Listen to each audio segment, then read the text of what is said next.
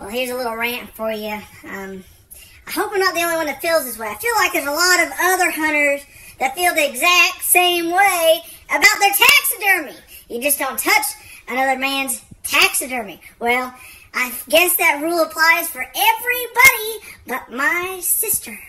Every year. I thought I lucked out this year. I thought it was not gonna happen, but I came home today and my deer, oh my deer, what has happened to you? Look at him. Just look at him. Everything. Oh my dear. They're all decorated. Look at my, all my European mounts. They've all been Rudolphed.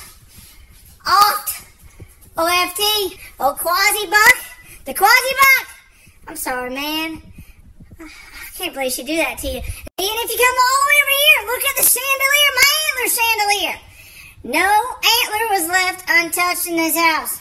Thank you, sister. Don't know what my deer would do on Christmas without you. Maybe be normal for once.